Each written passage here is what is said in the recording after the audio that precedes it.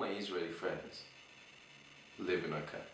I have some non-Israeli friends who live outside of Neukölln, or my Israeli friends live in Neukölln. Look, I know that there's there must be racism towards Jews, just the same way that there must be racism towards uh, black people and Arabs and and and everybody. You know, the, the, the, the racism exists, and uh, and it's something that yeah, really, it's like you, you can't avoid it anywhere in the world.